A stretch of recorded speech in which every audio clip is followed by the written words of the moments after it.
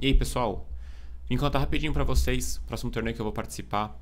Né? Tô indo agora para o aeroporto, inclusive, né? como sempre com a seta caindo. Vocês sabem que não é novidade isso. Vou jogar o 24 Open de Abu Dhabi, um torneio muito forte. Né? Esse ano tem 51 grandes mestres participando.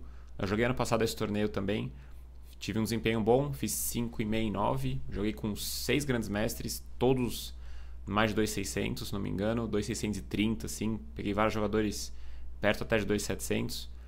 É, tive um resultado muito bom, consegui jogar bem firme lá, me preparei bem para as partidas.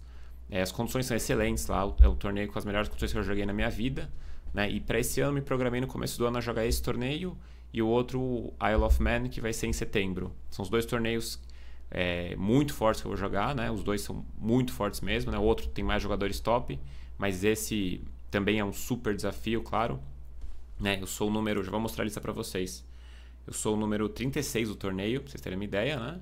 E tem 150 jogadores, mais ou menos, né? Então, é, na segunda rodada, já mais ou menos no número que eu tô, se eu ganhar primeiro, eu já vou pegar um, uns caras muito fortes ali em cima, né? Então, torneio bem puxado mesmo.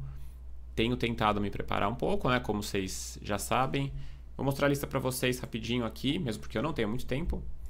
Então, temos aqui o 24 Open de Abu Dhabi, né, o Nigel Short, que já foi desafiante título mundial, né, com Kasparov, já foi um dos melhores do mundo, ainda está em alta aqui, né, dois, quase 2,700, jogador um veterano comparado com os outros, né, muitos nomes importantes aqui, o Amin, que eu joguei com ele ano passado, quase 2,700, jogador africano do Egito, muito forte também, né, vários jogadores armênios aqui dá para ver também.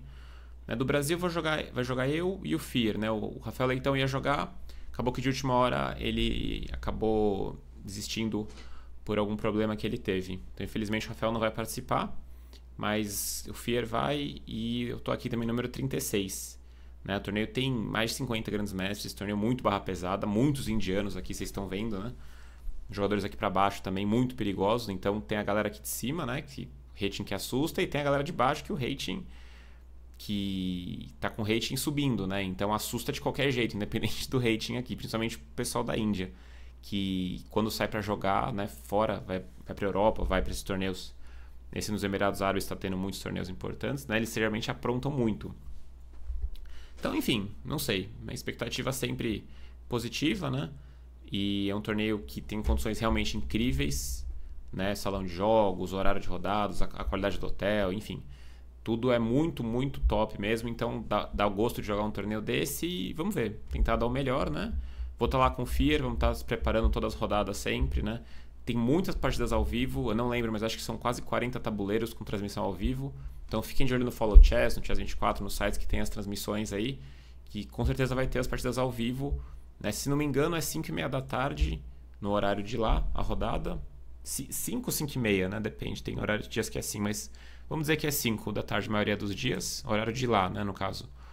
E são 7 horas de fuso, se não me engano, para o Brasil. Então, horário de Brasília, é, 10 da manhã começa a rodada aqui no Brasil. Então, fiquem ligados, acompanhem e torçam por mim, pelo FIR. Vamos tentar caprichar, trazer um bom resultado para o Brasil, certo? Conto com a torcida de vocês.